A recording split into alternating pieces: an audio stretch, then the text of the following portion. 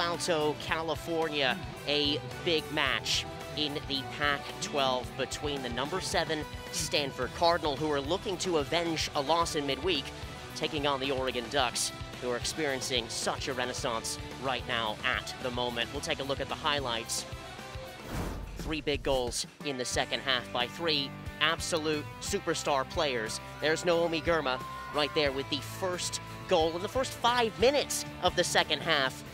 It was her strike right there on her left foot. She brought it down on her left and off the half volley.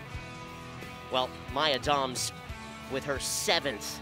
Stanford went up 2-0 in this game.